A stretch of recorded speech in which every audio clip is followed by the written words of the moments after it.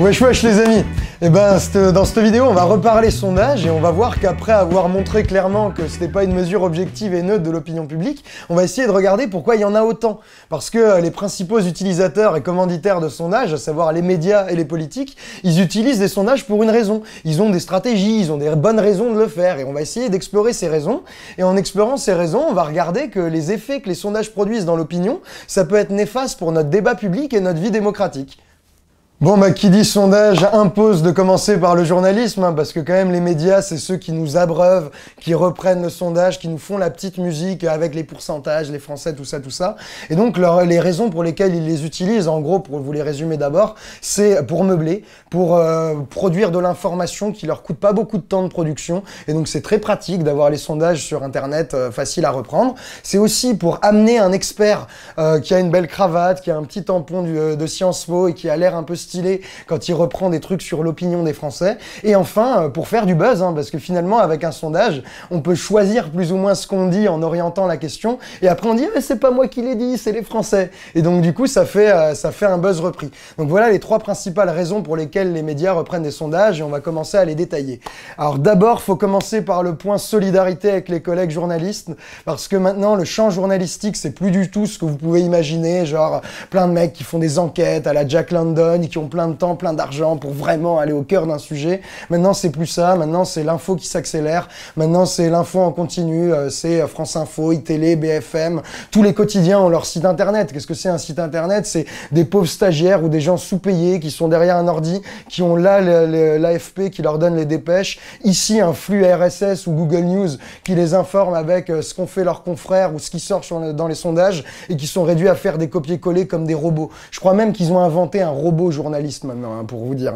Et donc ces pauvres gens, solidarité avec eux, mais ils sont obligés de reprendre des fois de temps en temps, quand tout le monde a pris la même dépêche AFP, eh ben ils prennent le petit, le nouveau sondage Ipsos, le nouveau sondage Sofres. Alors souvent il est commandité par un collègue, mais ils prennent ce truc, ils regardent qu'est-ce qu'il y a d'un peu sucré, ils font un petit titre putaclic parce que leur boss il leur demande de faire ça, et hop copier-coller ils reprennent. Donc du coup si on a autant de musique, c'est parce que le journalisme c'est de la merde. Et c'est pas de la merde à cause des petites mains, c'est de la merde parce qu'il y a plus de sous.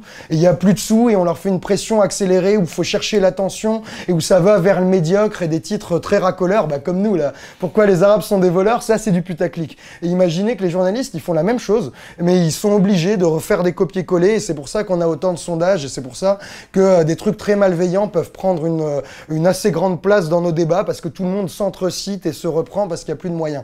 Donc solidarité avec les collègues et euh, s'il vous plaît, si c'est possible, arrêtez les sondages.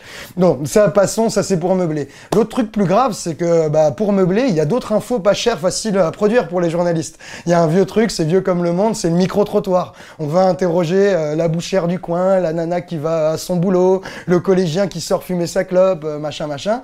Et euh, on les interroge et on a une opinion. Mais ça, ça fait cheap. Et le sondage, il permet un truc beaucoup mieux. C'est la même chose, c'est l'opinion des Français, c'est du blabla qui a pas de sens, mais c'est dit par un expert en cravate. Le mec, il arrive, il vient de Sciences Po, il a écrit en bas un petit bandeau universitaire, prof à Sciences Po, machin, et il explique que l'opinion des Français, c'est que, que les jeunes euh, ne sont pas prêts à voter socialiste ou que je sais pas quoi, enfin n'importe quoi. Le, temps de travail, il a besoin d'être euh, augmenté parce que sinon on sera en retard par rapport au modèle allemand ou je sais pas quelle connerie.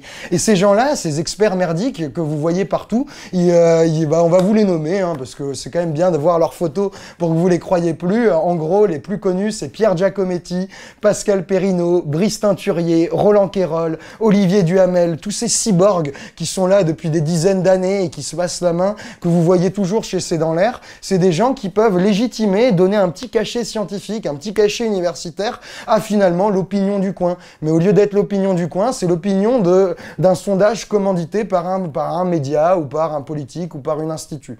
Et donc du coup, les, les sondages sont utilisés par les médias parce que ça leur permet de mettre de la légitimité sous couvert de neutralité et d'université à des propos qui coûtent rien à produire. Donc euh, ça c'est le deuxième effet c'est la deuxième manière dont ils utilisent les sondages. Et la troisième, c'est peut-être la plus malveillante, mais celle qui les intéresse le plus, qui les appâte le plus, les médias, c'est qu'un sondage, ça permet de faire du buzz et même de faire de la pub pour extrêmement peu cher. Il vous suffit de commander un sondage, vous orientez un peu les questions pour que ça soit buzzable, que ça soit un peu putaclic, machin, et euh, donc vous, vous commandez ce sondage et après vous pouvez dire, euh, par exemple, ça c'est un sondage Metro News euh, fait par Opinionway, que 67% des Français pensent que le FN va créer la surprise au municipal. Qu'est-ce que ça veut dire? 67% des Français pensent que le FN va créer la surprise. On s'en fout qui crée la surprise. C'est vraiment complètement de la merde. Mais ça permet de faire un titre avec FN en gros et un gros pourcentage et faire peur à tout le monde. Et comme ça, bah bim, euh, le confrère, là, le même stagiaire dont on parlait au début, bah il reprend le sondage. Et, du coup, qu'est-ce qui se passe? Eh ben, il y a Opinion Way, mais juste après, il y a Metro News, il y a LCI, ceux qui ont payé le sondage. Et donc, ça fait à la fois du buzz et de la pub. Et donc, on voit que les pour plein de raisons qui tiennent au champ journalistique, à leurs contraintes économiques et aux incitations que leur donne leur boss, eh ben, ont intérêt à reprendre des sondages, à les, faire gonfler pour orienter l'opinion et mettre du drama. Et on sait aussi, on, là, c'est important de le noter, que tout ça tient au fait que ça apparaît comme neutre, objectif, universitaire, scientifique. Et donc, pitié, euh, là, à la fin de ce topo et en voyant la première vidéo, n'y croyez plus, faut plus que ça marche, il faut qu'on désincite les médias à ces utilisations. Bah après les médias, vous vous en doutez, il y a un autre acteur qui a méga besoin des sondages et qui les utilise tout le temps, c'est nos amis politiciens. Alors eux, bah ils sont un peu dans la merde, hein, parce que maintenant euh, notre vie politique c'est plus du tout, euh, enfin je sais pas si ça l'a déjà été, hein, mais en tout cas c'est pas du tout voter sur un programme ou des projets ou des idées ou quoi que ce soit. Ça devient une espèce de course à l'échalote où tous les électeurs votent stratégique. Et euh, ça c'est vrai en France, c'est vrai aux États-Unis parce qu'on a des régimes présidentiels, mais c'est aussi vrai ailleurs. La politique se personnalise et euh, du coup, euh, le comportement de l'électeur, c'est euh, qui va être le mieux placé pour battre un tel. Et dans cette dynamique stratégique où c'est des personnes qui sont mises en avant, vous vous doutez que le sondage, ça fait la pluie et le beau temps parce que il y a un des effets des sondages qui fait que quand on est un des candidats les plus haut placés dans un sondage, eh ben, on a la dynamique, comme ils disent, ou en sociologie des sondages, ça s'appelle un effet bandwagon. Donc on est tiré, on est la locomotive.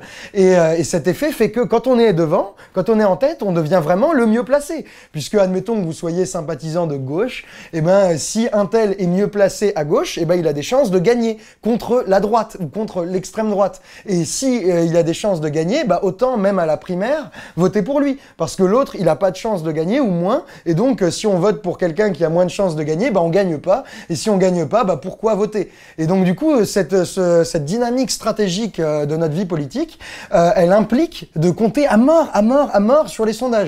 Euh, et, donc, euh, pour les politiques, ça change, pas pour les politiciens, ça change énormément leur pratique quotidienne et ça change du coup énormément notre débat public et notre vie démocratique. D'abord, dans les temps faibles, euh, les moments où on est loin des élections, les politiciens, ils sont obligés de s'agiter, ils sont obligés de faire des petites phrases, de sortir des déclarations très clivantes, très tapageuses pour qu'on parle d'eux. Parce que le plus on parle d'eux, le plus on les invite dans les médias, le plus ils sont invités dans les médias, les médias ils sont pas cons, et ben comme ils l'invitent, ils vont le tester dans les sondages, comme ça ils auront plus de raisons de l'inviter. Et donc du coup, plus il est invité, plus il monte dans les sondages, ou en tout cas, au moins, il y apparaît. Et donc du coup, on voit que le politicien, ne serait-ce que pour y apparaître, mais aussi pour monter, pendant tous les temps faibles de notre vie politique, il est obligé de s'agiter. Et donc nous, vous allez nous entendre dénoncer des plans de com, des stratégies de plein de politiciens qui tentent des trucs de communication pour les sondages ou pour plaire aux journalistes. Mais ça, c'est normal. C'est notre vie politique euh, dictée par des personnes, la personnalisation des comportements stratégiques et euh, plus du tout des idées, des projets qui, leur, qui les obligent à faire ça. Ça, c'est les temps faibles. Et pendant les temps forts, là maintenant, en pré-présidentiel, là, ça devient des vrais plans de com sérieux et on en mentionne quelques-uns. Vous nous avez entendu parler de Taubira, vous nous entendrez peut-être encore en reparler. Mais il y a aussi, par exemple, Juppé en face qui a un plan de com lissé, mais magnifique. Le mec est vieux, il a 70 piges, tout le monde croit qu'il va claquer et qu'on va pas voter pour lui. Mais ce couillon, euh, pour euh, avoir l'air jeune, qu'est-ce qu'il fait? Il deal une couverture dans Society, un magazine un peu hype, euh, vachement flashy, avec une, euh, avec une police, on dirait un food truck. Et vous voyez sa photo déridée avec à côté passion pénis, euh, des petites photos où il a trop la classe, en mode il est Jones, torse nu, on dirait le Tumblr fucky Jacques Chirac. Allez le voir, il est drôle. Et donc du coup, on voit que quand ça devient un peu sérieux, la politique, quand c'est un temps fort, c'est très important pour les politiciens d'apparaître dans des grands plans de com bien stylés pour pouvoir bénéficier des sondages, pour pouvoir emporter les sondages et créer la fameuse dynamique. Et donc on voit que les politiques et les politiciens sont obligés de jouer avec les sondages parce que les sondages sont déterminants dans leur carrière et donc euh, sont obligés d'adopter des comportements qui modifient énormément notre débat public et notre vie démocratique. Donc on voit qu'il y a des politiques qui se galèrent à tout faire, à, pédaler dans la smoule pour apparaître dans les sondages. Ça, c'est les bouffons qui sont pas au pouvoir, mais il y en a, il y a des politiciens qui ont la position rêvée, qui sont les kings. C'est ceux qui sont au pouvoir, qui sont présidents de la République, qui sont au gouvernement. Eux, ils, maîtrisent les sondages parce que c'est eux qui donnent le là de la communication. Ils n'ont pas besoin de se démerder, de faire une sortie de bouquin bien marketée, d'avoir de la chance pour entrer dans le débat public. Il leur suffit de faire une conférence de presse et un projet de loi. Et là, tous les médias doivent suivre, sont obligés de les reprendre. Et donc eux, la première utilisation qu'ils font des sondages, bah, c'est tout connement du marketing. Dites-vous que c'est exactement comme Nestlé, comme Coca-Cola, qui doit se demander comment est-ce qu'ils doivent amener leurs produits. Est-ce qu'il faut que la couverture soit verte ou soit bleue?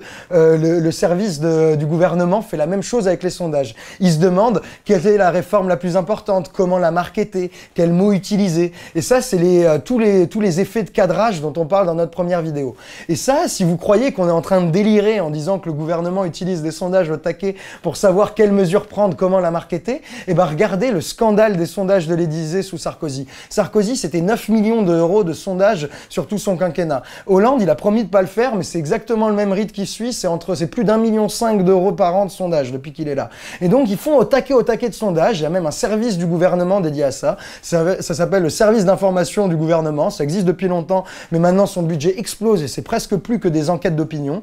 Et euh, d'ailleurs, comme ça, juste pour vous marrer, allez regarder la liste des directeurs de ce service-là, service d'information du gouvernement, regardez leur carrière et vous verrez la porosité entre le monde de la com, mais de la com crasseuse, le monde des sondages, le monde du journalisme et euh, la politique au sommet de l'État. Donc on voit que quand on est au gouvernement, on peut utiliser les sondages pour euh, choisir comment marketer et sur quels mots et comment cadrer sa politique, mais il y a un autre effet qui est très très chouette, et là ils ont rien besoin de faire, ils peuvent faire ça sans les mains, regardez le truc se dérouler tout seul.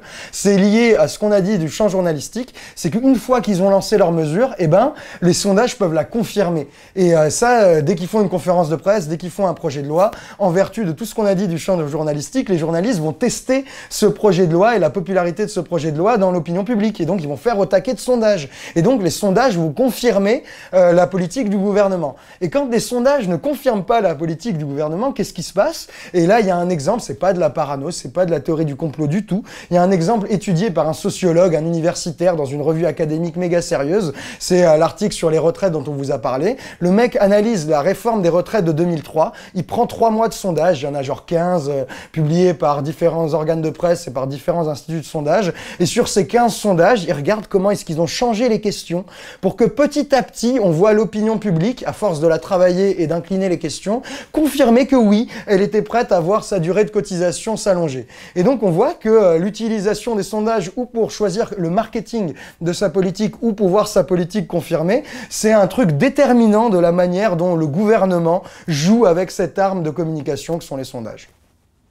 Bon bah là on a un problème. Et le problème c'est que même quand on est au courant que les, que les sondages c'est méthodologiquement absolument pas neutre ni objectif, même quand on est au courant que euh, c'est utilisé stratégiquement euh, par des journalistes pour faire du clic, ou stratégiquement par des politiques pour exister, ou stratégiquement par le gouvernement pour faire du marketing et jouer avec nos lois euh, pour, pour nous manipuler, même quand on sait qu'on se fait balader avec les sondages, bah nous autres citoyens on les lit quand même. Nous autres citoyens on se repère avec eux, quand on voit un sondage qui nous arrange, on le on le garde en tête, on en parle. Quand on voit un sondage qui nous plaît pas, ça nous fait peur.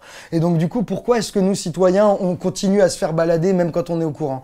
Bah c'est simple, c'est parce qu'on est ensemble. La politique, c'est être ensemble en tant que citoyen dans le même monde. Et comme on est dans le même monde, euh, agir ensemble, c'est pas simplement avoir une bonne idée, soit tout seul. Hein. Moi, je m'en fous de quelle est ma bonne idée. J'ai besoin de savoir ce que posent, ce que pensent les autres gens, où en sont les collègues, où en sont euh, bah, les, les gens qu'on connaît pas, parce qu'on est jeté dans un espace politique collectif.